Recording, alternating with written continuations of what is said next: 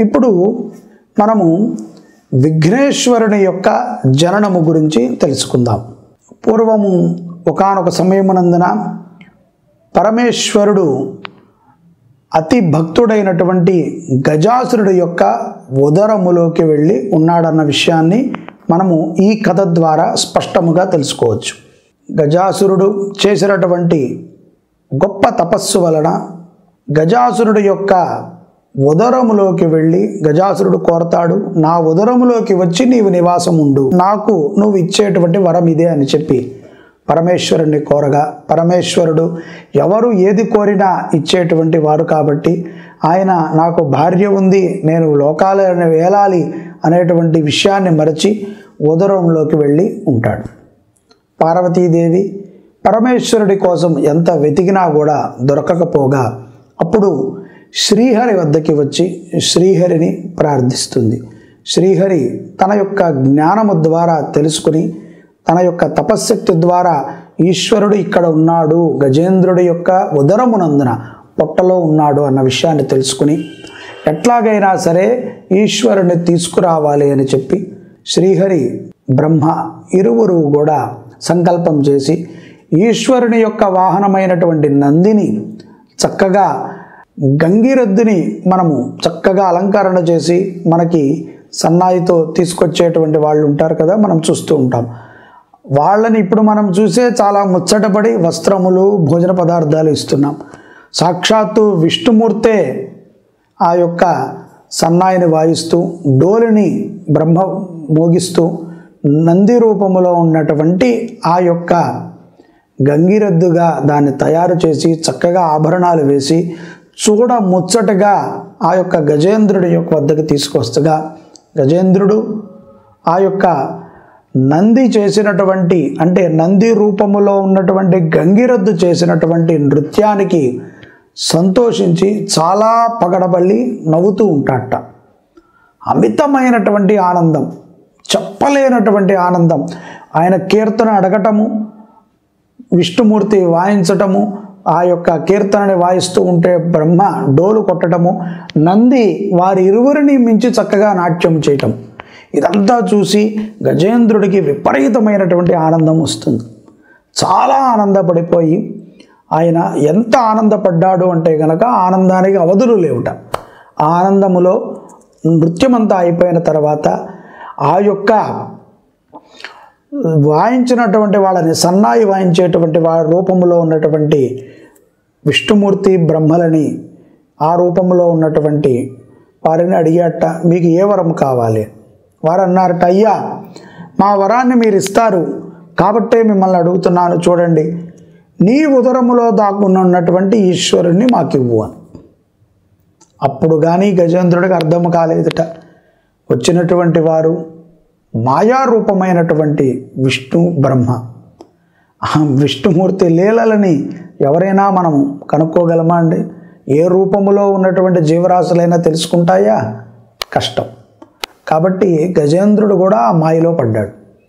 వెంటనే నిజమే చూసావా నేను ఎంత మాయలో పడ్డాను అని చెప్పి చింతిస్తున్నాడట. సరే తీసుకో అని అన్నట్ట నంది వెళ్ళి ఉదరం మీద కొమ్ముతో కొట్టగానే ఆ ఉదరాన్ని చీల్చుకుని పరమేశ్వరుడు బయటకు వచ్చాట కానీ పరమేశ్వరుడు ఎంత గొప్పవాడండి?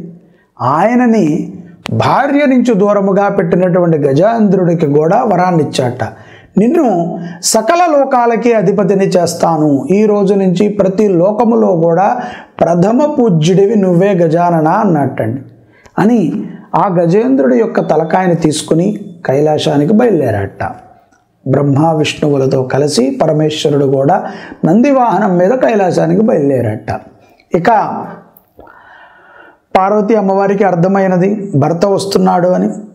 తాను చక్కగా నలుగు పెట్టుకుని స్నానము చేస్తూ ఆ నలుగు పిండితో ఒక రూపాన్ని చేసి దానికి ప్రాణశక్తిని ఇచ్చి చెప్పిందిట నాయన అందరూ కూడా పరమేశ్వరుని తేవటానికి వెళ్ళారు. ఇక్కడ ప్రమద గణాలు కూడా లేవు.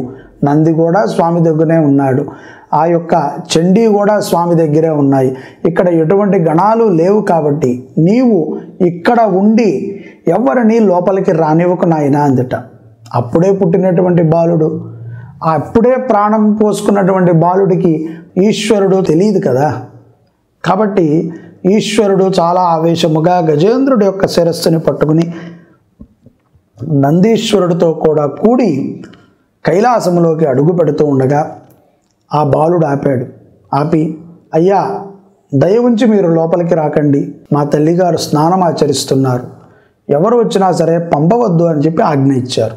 కాబట్టి మీరు ఇక్కడే ఉండండి. అమ్మగారు రాగానే మీరు లోపలికి వెళుదురుగారని అప్పటికే ఆవేశముతో ఉన్నటువంటి ఉగ్రరూపముతో ఉన్నటువంటి పరమేశ్వరుడికి చాలాసేపు ఆ బాలుడితో వాగ్విధానం చేశారట ఓపికగా. బాలుడు ఎంతసేపు అయినా సరే మాట వినకుండా అలాగే చాలా గట్టిగా చాలా నిబ్బరముగా ఈశ్వరుణ్ణి కదలకుండా నుంచోబెట్టాడట. తన ఇంటికి తనని రానివ్వరా అని చెప్పేటువంటి ఒక ఆవేశములో ఆ బాలుడి యొక్క శిరస్సుని ఖండించి కైలాసంలోకి ప్రవేశిస్తుంది పార్వతీదేవి చక్కగా స్నానమాచరించి ఆభరణములు పుష్పములు మంగళద్రవ్యములన్నీ కూడా పెట్టుకుని నాథుణ్ణి చూడటానికై కైలాసములోకి ఉన్నటువంటి నాదుణ్ణి చూడటానికి తాను కూర్చునేటువంటి సింహాసనం వద్దకి వస్తూ ఉండగా గుమ్మం వద్ద ఈ బాలుడు సజీవముగా పడి ఉన్నట్ట అదేమిటి? ఇతని శిరస్సు ఏమిటి అని చూస్తే శిరస్సు దూరముగా పడి ఉందిట. అందరూ అలా కూర్చుని ఉన్నారు. పరమేశ్వరుడి చేతిలో గజానుడు యొక్క తలకాయ ఉందట. నాథా ఎంత ఘోరం చేశారు? నేను ప్రేమతో వాత్సల్యముతో తయారు చేసుకున్నటువంటి రూపాన్ని మీరు భిన్నం చేసి ఆ యొక్క రూపాన్ని భిన్నం చేసి ఇక్కడ కూర్చున్నారు. నాకు ఏమాత్రమూ ఆనందము లేదు. నాకు ఇష్టముతో నేను ప్రీతితో చేసుకున్నాను. చిన్న బాలుడే ఏ విధముగా మీరు తల నరికారు? అని చెప్పి పార్వతి అమ్మవారు పరమేశ్వరుడితో వాగ్విధానానికి దిగగా పరమేశ్వరుడు పార్వతి అమ్మవారి యొక్క శోకాన్ని చూసి తరించి ఆయన చేతుల్లో ఉన్నటువంటి గజాననుడి యొక్క తలకాయని ఆ బాలుడి శిరస్సు మీద పెట్టాడు పెడితే అక్కడతో ఆ యొక్క రూపము గజానన రూపముగా మరలా ఉద్భవించింది. వెంటనే నాయనా గజానన నీవు ఈ లోకములో ఏ వ్రతమున్నా ఏ పూజ ఉన్నా ఏ శుభాశుభ కార్యక్రమములున్నా ఎటువంటి కార్యముకైనా సరే గణపతిగా నీవే ముందుంటావు. నీవు లేనిదే ఏదియు కూడా సాధ్యము కాదు అని చెప్పి ఆయనకి సర్వశక్తులని కూడా ప్రసాదించి ఆ రోజు నుంచి కన్న బిడ్డ కంటే కూడా ఎక్కువగా చూసుకుంటూ వచ్చారట. మరి కొంతకాలములో ఆ యొక్క గజాననుడికి కుమారస్వామి అని చెప్పి ఒక తమ్ముడు కూడా జన్మించాడు. పార్వతీ పరమేశ్వరులకి ఆదర్శ రూపముగా వారు ఇరువురు కూడా కుమారస్వామికి జననం ఇచ్చారు అని చెప్పి మనకి ఈ కథ ద్వారా అర్థమవుతుంది. ఈ విధముగా గజాననుడు తన యొక్క జీవన ప్రారంభముని కష్టముగా ప్రారంభించిన చాలా సుఖమైనటువంటి ఉన్నతమైనటువంటి స్థితికి వెళ్ళటానికి పరమేశ్వరుడు తన యొక్క సంకల్ప బలాన్ని ఆ విధముగా మనకు చూపించాడు. దేవతల యొక్క చరిత్రలు కూడా మన జీవనములోకి మనకు ఉపయోగపడుతూ ఉంటాయి. కాబట్టి కష్టము వచ్చింది కదా అని చెప్పి కుంగిపోకుండా మనము భగవంతుడిని పట్టుకుని ఉంటే గనక ఉత్తమమైనటువంటి స్థితికే తీసుకెళ్తాడు తప్ప భగవంతుడు మనని అధమ స్థితికి మాత్రము తేడు.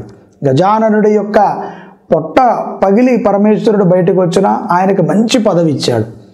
అదే విధముగా కుమారుడి యొక్క తల ఖండించిన మరల ఆ కుమారుడికి ఉత్తమమైనటువంటి యోగ్యాన్ని కల్పించాడు. అంత గొప్ప సహృదయమైనటువంటి పరమాత్మలు ఉన్నారు కాబట్టి మన ధర్మములో మనం ఇలాంటి వ్రతములు ఆచరిస్తూ ఉంటే మనకి కూడా అంతే ధర్మమైనటువంటి మార్గాలు పరమేశ్వరుడు గణపతి మనకు చూపిస్తూ ఉంటారు.